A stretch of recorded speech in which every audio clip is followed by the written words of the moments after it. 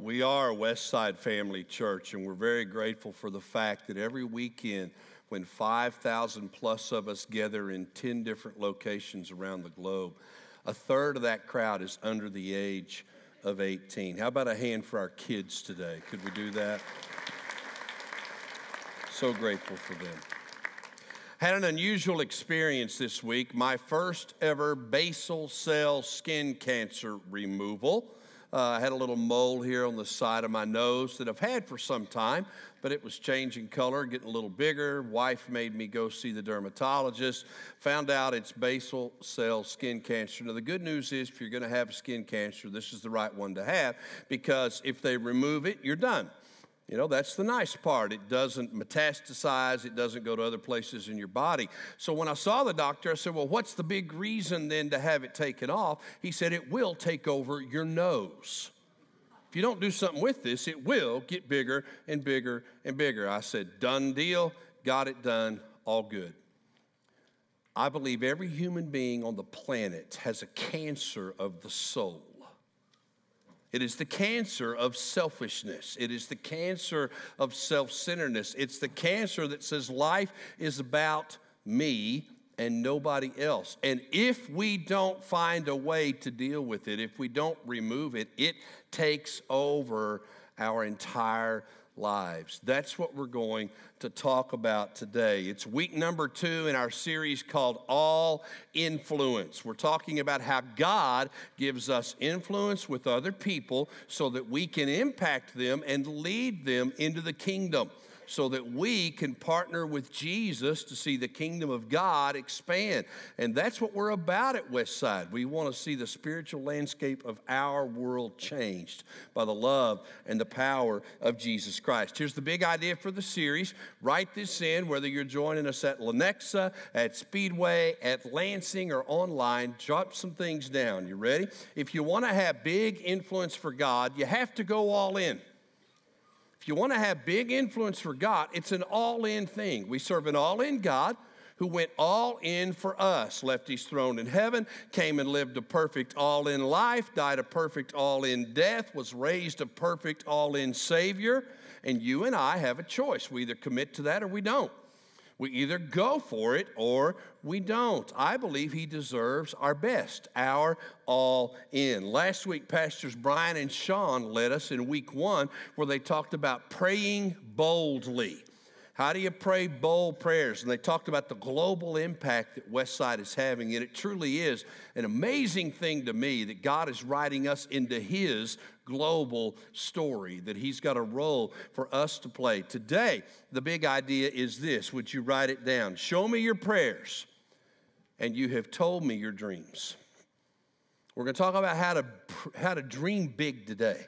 How do you dream big? Something big that you want to see God do. Show me your prayers, and I believe you've shown me your dreams. Why is that? Because when you've really got a dream, it seeps its way into your prayers. Have you ever found this to be the case? You're driving down the road and you're, you're praying about something, and you realize you're praying about your dream. You're praying about the thing God's got on your heart, or you're or just going along at night and your brain is going and you're thinking about, you're dreaming this and you're praying that, and Lord, would you make that happen? I believe that what captures our imagination also captures our heart. That what we dream about, we pray about. And here's a cool thought What does Jesus dream and pray for us? See, I'm a crazy person. I think about these things. What would he dream and pray for Southerland? What's his dream for me? What's his prayer for me? Great news is we don't have to wonder. We can find it. In fact, write this into your notes as well as I pick mine up. I have the same notes you do, only difference is mine are filled in and scribbled on. And sometimes I actually pay attention to them. Are you ready? Here it is. We know without any doubt what Jesus dreamed and wanted for his followers from his prayers. All we've got to do to see what Jesus dreams and wants for you and I is to read his prayers. And that's what we're doing in John chapter 17. We've got the last prayer of Jesus before he's crucified, the night before the crucifixion. It's the longest recorded prayer of Jesus. I think it's the weightiest recorded prayer of Jesus. He knows the cross is coming the next day, and he prays, check this out, guys, for us for those will lead to Christ and for the impact they will have around the world. He's dreaming and praying for us. Listen to the prayer, John chapter 17. It's in five pieces. We're going to look at the five things Jesus prays for us. Holy Father, he says, protect them by the power of your name, so that they may be one as we are one, so that they may have the full measure of my joy within them. Sanctify them by your truth. Your word is truth. As you have sent me into the world, I have sent them into the world. What did Jesus pray and dream of for his followers? Let's make it current tense. What does he pray and dream of for you and I today? First thing he prays for, he prays for our safety. Jesus dreams and prays of our safety. Notice his first prayer Holy Father, he says, protect them by the power of your name. How many parents or grandparents are in the room? Hands up. How many hundreds or thousands of times have we prayed for the safety of our kids? Every time they go outdoors to play as a preschooler, every time they sleep over at somebody's house as an elementary kid, every time that they walk out the door as a teenager, you're doing this the whole time that they're going out. You're praying for them, you're concerned for them, not just their physical safety, but their emotional safety, their spiritual safety. You're, you're praying for protection, you're praying for purity. You're praying for them to stay on track, not make the same dumb mistakes that you and I made. We're praying all of those things. That is the heartbeat of any parent. And it is also the heartbeat of God. He's praying for you and I to stay on the straight and narrow. He wants us to not blow it the way others have. In fact, guys, once in a while we get tired of rules. Have you noticed that?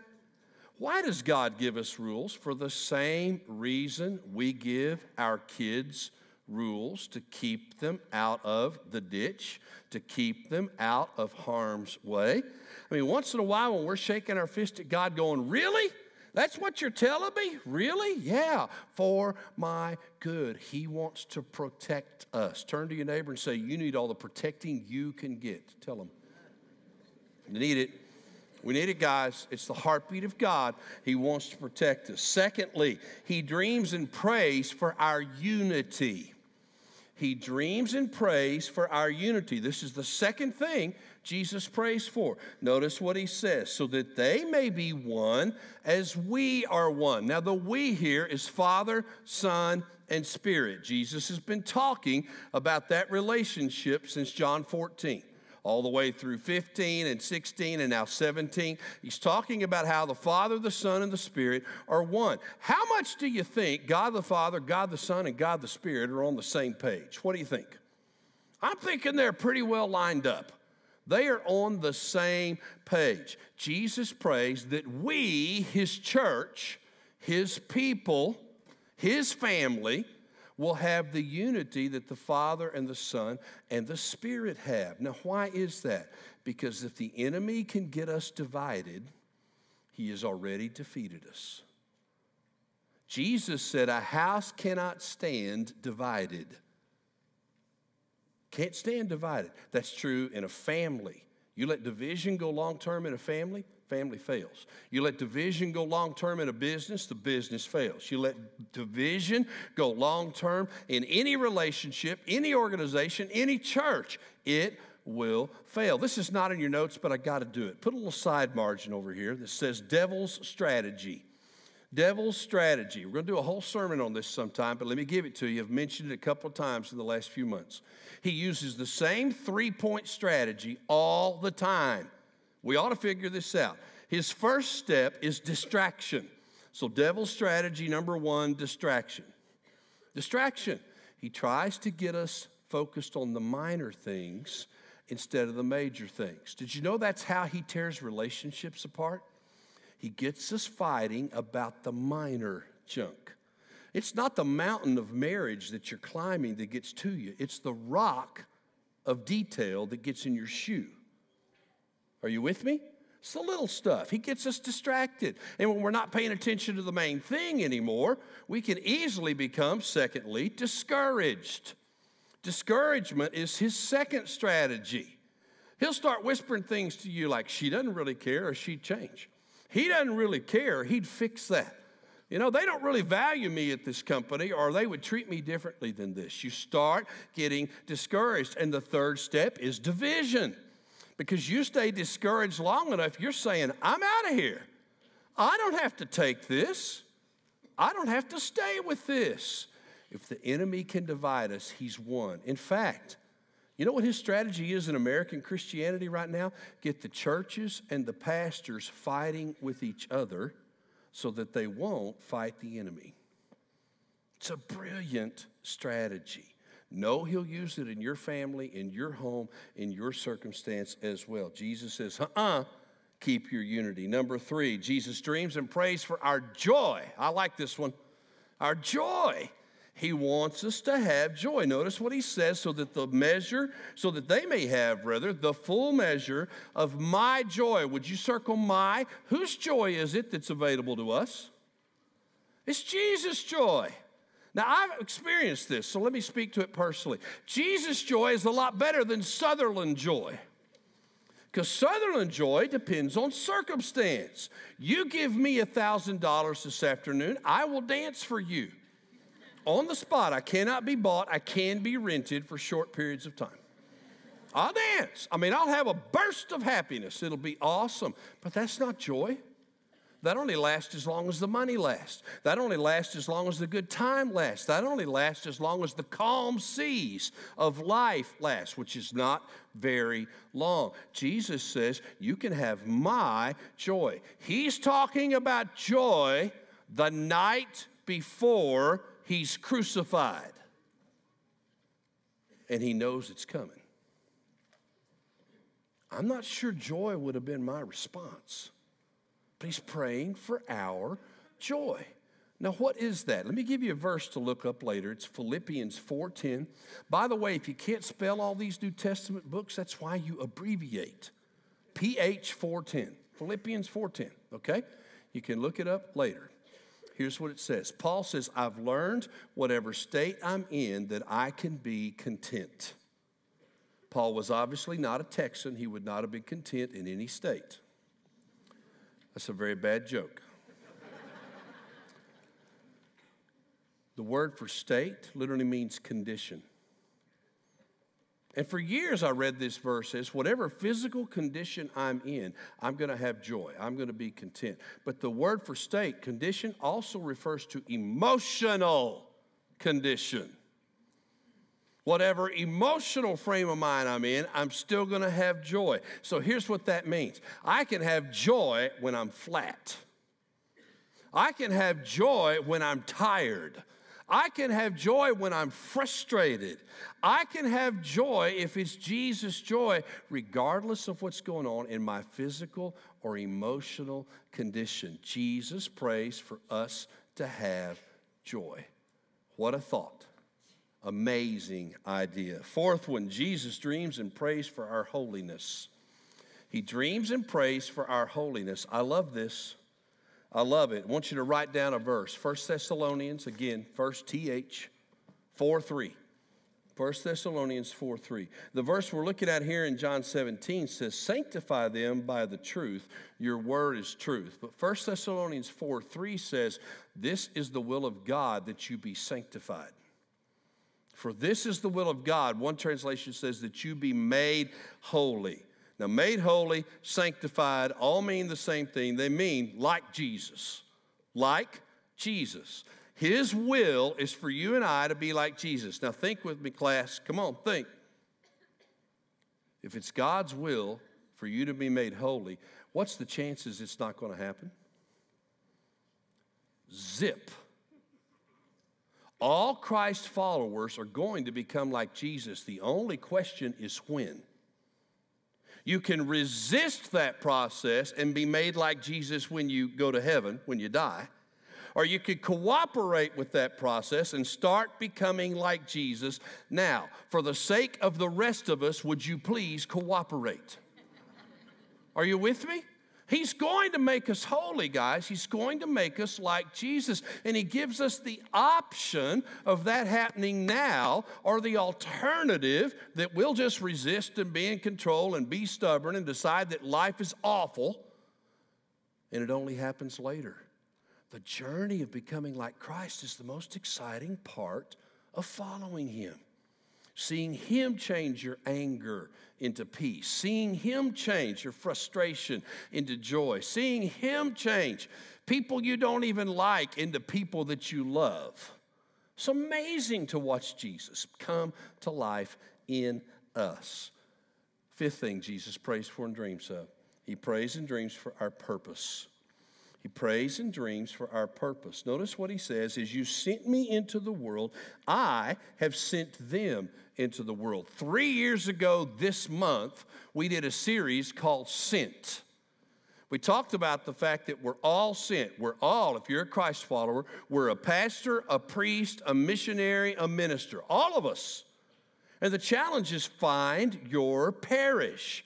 Find the group of people that God wants you to minister to, serve, pastor, and do it. We're sent, we're commissioned. Jesus is saying, I'm praying for you guys to figure out you're my partners in the kingdom of God. You're the only partners I have. So step up and partner. Step up and go. Jesus, what an amazing set of prayers and dreams. Dreams and praise for my safety, for our unity, for my joy, for our holiness, for our purpose. Now, that's what Jesus prays and dreams for every Christ follower around the globe. Let's step it up to specifics for a minute. What is Jesus praying and dreaming for Westside? What's he praying and dreaming for Westside? A couple of years back, he started whispering by his spirit something crazy into our ears. He started saying, What would it be like to reach, write this in, a thousand new unchurched families in the next two years? What would it be like to reach a thousand new unchurched families? That's what we started on, the faith adventure a year ago. We're halfway through it. Today's a bit of progress report. I want you to welcome our visionary architect of our all in faith journey, Mr. Dan Chaverin, and he's going to share with me. Morning, all. Whoa! What was that? Oops. I almost it's, got it's trapped only there. Troy's guitar, man. It's Oh, no boy. big deal. He's got Ooh. five or six more in the back. All right, we're going to put that right, and don't anyone tell anybody. Uh, Okay? Our little No, secret. Dan, that's not on video or anything. that didn't even Sorry, go out Troy. on the internet, bro. No, no, nothing, nothing like that. Dan, we uh, we've always had a tradition at Westside of making room for those that are not here yet. Talk Yep. to us about that. Well, I'll tell you what, uh, you know, I'm so proud to be a part of a church where, from the very beginning of this church, when we started out in Quivira Road, Yeah. which was uh, 1976, the church has always been willing to lay down its own comfort, its own preferences, and said, you know, we're running out of room. Yeah. We're willing to make room for new people. And that's really been the heart, really a theme that's gone through the, the history of our church. That first auditorium of Quivira Road Church held 100 folks, then. that's And amazing. they outgrew it and did multiple services, and then they went and met at the middle school, at Yep. Trail Ridge Middle School, and then eventually moved out of the middle school into the, the box, I call it, over Yep. on, on Shawnee Mission Parkway and met there. Then we sent a bunch of folks up to Speedway, Yep. which has been a great, great adventure. They eventually branched out into Lansing, into the prison, Yep. and now here we are trying to expand again. It's really going all in is something we've always done. It really is. So, and, and we're just so excited to be part of what God is doing in this phase. So we get to kind of enjoy this to say, do. hey, we're going to, you know, people have made room for us, we're going to make room for the folks behind us. That's a pretty cool opportunity. So the good news is God is blessing Westside. Yes, and if we sat here, guys, for two hours, we could not give you every highlight of the last year.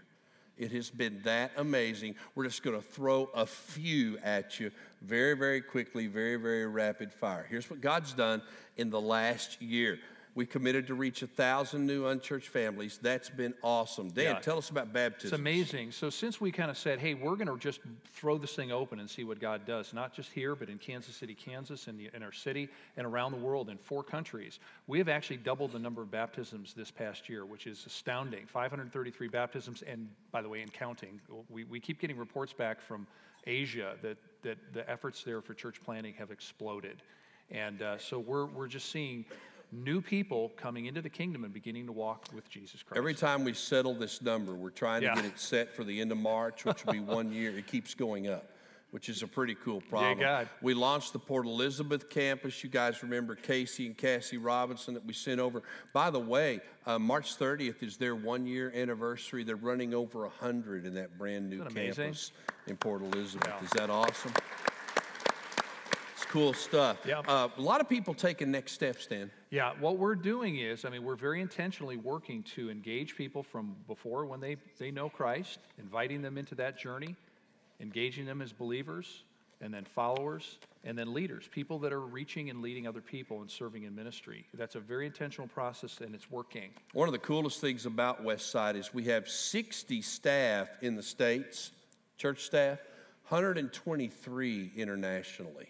I don't know another church in the States that's got twice as many staff overseas as we have here, but that fits who we are. 900 plus people up at Speedway every week. So blessed by that. Uh, Dan, Yeah. you're, you have a big heart for the I- Thailand I, do. Westside Bua, Thailand. Here's what's so cool. What it, as part of your giving for All In, we said, hey, we're going to help uh, Westside Bua expand. And so they spent a little bit to expand some areas where the students could, could meet and those kind of things. But what they did was they actually went and built a coffee shop on the main street of Bua, Thailand. And that is a Jesus coffee shop. Let me tell you, that is their missionary outreach to that community. And it is absolutely, it's a Western style coffee shop, and it's very popular, and they're reaching many people. We're about to do our first church plant in a coffee shop.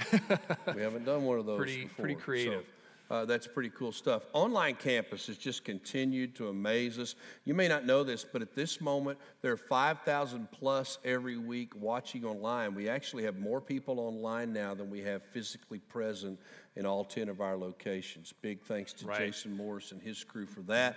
Uh, three, three things going up at the prison, and John Oker leads that, and he's here today, and I'm going to embarrass him. John, stand up right there, bro.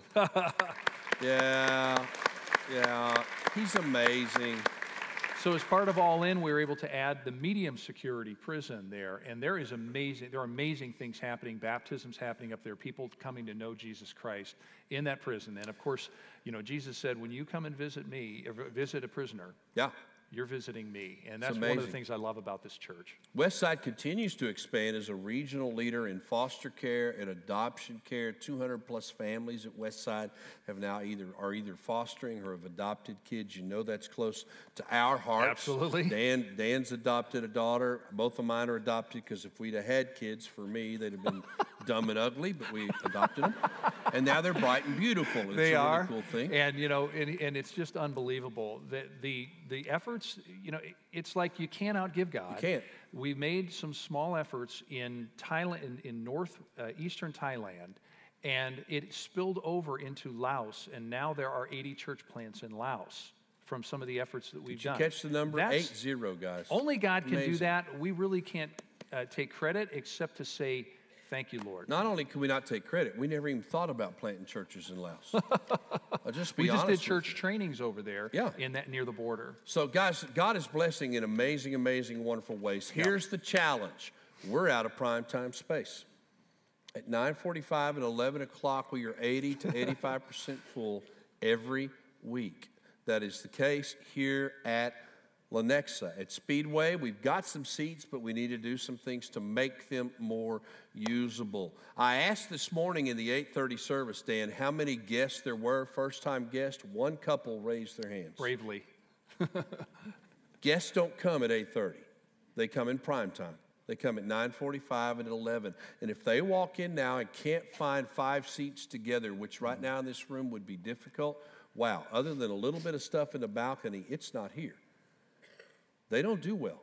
So we need to provide space. It's something we have got to do. So Dan, Right. talk us through how we're going to make right. room. So we started uh, a year ago with a commitment to reach a thousand new families. A year before that, we began a great deal of analysis to figure out, well, what do we need? What space do we need? What kind of space? How much can we afford? How much can't we afford? So we decided that we were called to make room for a thousand new families, and this is how we're going to do it. First thing was we're going to add adult space, and uh, this shows you a uh, an actual. Uh, uh, mock-up. It's a 3D mock-up of Whoa, the whoa, design. whoa, that's moving. Isn't that pretty cool? Do it again. of the design of a new 500 seat. Wow. No, no, I got to see it again. One more time, guys. I, I, don't. How do you make a picture move? Time limit, Dan. Time. Time. Oh wow. That's just cool. It's a 500 seat room. It's Right. going to sit right out here, guys. Basically, about the same square footage as the bottom of the Right. floor here at Lenexa. Right. That'll give us more space. Think about it, Dan. If we use it twice, that's 500 more people twice. Three times. Could. Unbelievable. So we have the room for parents. Now we're going to need a lot more room for kids and students. So here's a new kids space. The beautiful thing about our kids space is we're going to be getting two brand new kids spaces built in the existing student center on two floors. We're going to add a floor there. And then our student spaces, we're going to have two new student spaces back to back. Uh, to our south here, and uh, you know, absolutely state-of-the-art student space for middle school to meet at the same time that high school meets. That's a big deal. Yay. As, as a parent with all those grades, I'm going woohoo too. So it's, it's going to be great. What that does is it just doubles our capacity for students, doubles our capacity or triples our capacity for kids, and, and adds for our parents. We got to do something for Speedway as well. And Yep. for those of you that are at Speedway, you know this, those that have visited. The difficulty at Speedway is all the seats in the movie theater are not really usable. Nobody sits in the front row of a movie. Why is that? this is why. You got 30 foot Dan right there. The other struggle in that room is the sound is really loud in the front and not nearly as loud in the back. So we're going to totally redo the audio system, totally redo the video system. We're going to move to HD projection, which Yay. will sharpen the picture for them and the ability. It's going to make every seat in the room usable. At that moment, Dan Speedway will actually have more primetime seats available than we do. That's exactly right. So what we really need to do there is we need to make that experience more enjoyable, less blurry, less frustrating. And by the uh, way, Dan and I got to be out at Speedway last weekend. Yeah. Dan, they may be the best of Westside. they were pretty fired up. They're Yeah, pioneers out there, so it's we're very cool proud stuff. of Speedway. It, it really and truly is amazing, amazing stuff. Uh, we're going to expand our impact as well, not just capacity here at Prime Primetime, but impact around the world. That includes the South Africa campus. We'll continue to sponsor, continue to be part of. Casey's doing a great job there. Yep. Continues what we're doing in Thailand. Continues what we're doing in orphan care, Dan. Yep. India, South Africa. We have we've we're moving towards sustainability. We're moving toward church planting in those communities where we have built a great deal of goodwill. And we are seeing now things happening that just opening up new avenues to influence for Christ. It's very exciting. And then also closer to home in Kansas City, Kansas, in our city, uh, we have our mission houses going gangbusters now. Uh, we have church planting options that are that have just This fallen is- in our lap. This is way cool, guys. It appears that later this year, we're going to plant both a Spanish church and a Bhutanese church in downtown Kansas City. And the cool part of that is, is my Spanish is más o menos. It's not bad. My Bhutanese is horrible. so we're going to be able to reach a group of people that we cannot reach right now in an area where they live. That is so awesome. We're going to get to do that. So it's about providing capacity, it's about impact around the world, but Dan, it's also about taking care of the future. Absolutely. So, what we said uh, a year ago was that we need to start now so that we can be ready to have more room two years later. Well, now it's just one year later, folks. That's an outside view. yeah. Dan, wait, wait, where's my truck? You know, they, they didn't have that in the program, Dan. Uh, they didn't. I'm they looking didn't at the have monitor. I'm looking, maybe it's on, that's not on there. No, it's not in there. There's a problem with this picture, guys. We need my truck in this picture, okay? Yeah, it's really important. We are going to expand We'll the, the facilities here, also show you what it looks like on the inside. That's the expanded commons going down the way. The gallery kicked out. Dan's idea. Nice idea, buddy. Thank you. Like that. Expanded Yeah, so this doesn't exist. This part back here doesn't exist yet. That's a mock-up of that part with with new double doors that go out to the south. And this hallway, oh, lost it, but the hallway goes down to the student center wing, which is really exciting. Again, that's another view from the Ah, platform of yes. the worship area.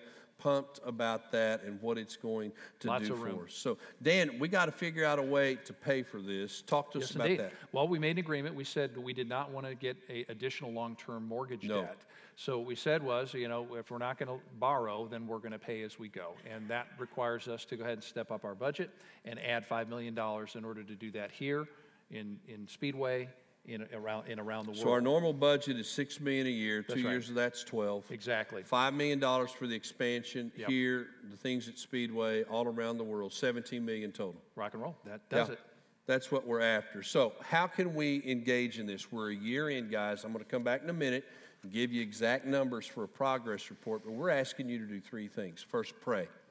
Pray about what God wants you to do. We're going to ask everyone to make a new commitment for this second year. Talk about that in a minute, but pray about what God wants you to do. Secondly, Dan, they need to evaluate. Right. Just uh, just talk to the Lord and and see where you are with your generosity. You know, it's it's been a fun season for us. It's been a fun season for for me to think through you know, wow, uh, you know, what kind of stretch has this been for, for the Chaverin family? And, and it, it really has been. And it's been fun and it's been challenging all at the same time. So, you know, the idea, though, is just to be intentional. Take yeah. a look at it, and see where you are, and see what God is calling you to give. And then you commit also, guys, and that's what we're going to do on the 30th, where we commit together and say, hey, wow, yep. what can we do as a church in this next year? It's going to be a fun, amazing, amazing journey. Looking forward to that. Well, Dan, what's your last word on All In? Well, I, I want to say just uh, thank you. Thank you for being all in. Thank you for growing together as a church. This is something that we cannot do uh, alone. Any one of us could never pull this off. This is something that we do together. And it's something that we have many folks that have given very sacrificially. And so we wanted to thank you. And there are also a bunch of new people. And we wanted to invite you in uh, because we're going to need you to make this goal. We do. We Dan and I are going to be hosting a lunch today at yes. noon, a dessert Wednesday night, a lunch next Sunday as well. Hope you'll come and be a part of it. How about a hand for Dan? Thank Shadwell? you all. God bless you. Thank you. Thank you, brother. Thanks, Dan. Awesome, man. Awesome. So go back to your notes for a minute and let me fill in a couple of things. How are we doing so far? We are 53% of the way there on families, okay? 53% of the way there. Write that in. 53% means 533 baptized, 1,000 is the goal. Wow. Guys, that is incredible. We're at 42% on our giving. That's projected through the end of March. One year in, we ought to be at 50, right?